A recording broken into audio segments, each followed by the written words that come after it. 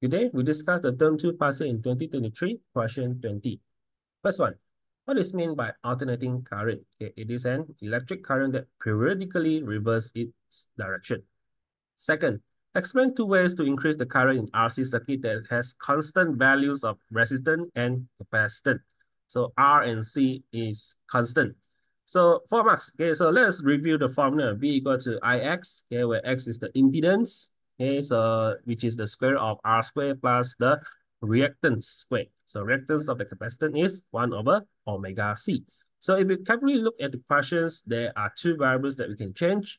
First one is we can change the V, the magnitude of the AC voltage supply. Okay, because uh, by looking at the formula V equal to Ix, the higher the voltage, the higher the current flow in the circuit. Okay, so for marks, we need to explain a little bit on the method that uh, we're going to propose. So the next thing is we can increase the frequency of the AC voltage supply, okay, which is the omega. Omega equal to 2 pi f. Okay, so if we have higher frequency, the capacitor reactance will decrease, which also decrease the impedance. So the lower the impedance, the higher the current flow in the circuit. So we move on to the next question. A resistor of resistance 25 ohm, capacitor 100 microfarad are connected in series in a sinusoidal voltage supply, which oscillate at a frequency of 60 hertz. Root mean square current of 1.25 ampere flows in the circuit. First one, calculate the peak voltage across the resistor and the capacitor. Six marks. So I think many people would love this question we have the reactance 1 over 2 pi FC. So we can calculate it is equal to 26.5 ohm. And we need to get the peak voltage. So please convert the root mean square current to peak current, which is multiplied by SUT2. So first one is to get the voltage across the resistor. So what we have is the current multiply the resistance, which is equal to 44.2 volts. And the next one is the peak voltage across the capacitor. So what we have is also the current multiply the reactance of the capacitor, which is equal to 46.8 volt. So six marks is quite generous. Okay, let us move on to the next one.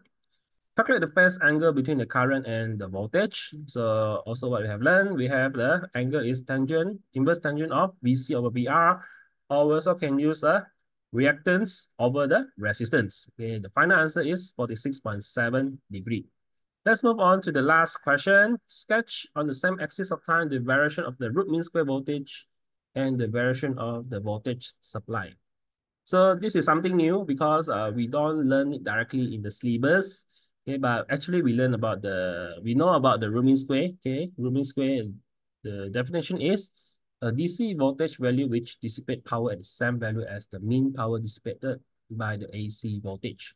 So we want to sketch okay, the root mean square voltage and the voltage supply. Okay, so root mean square voltage is a DC voltage, okay, which is a, a voltage that has a lower value compared to the peak voltage. Okay, we know that V naught divided by SUT2, that is the mean square voltage.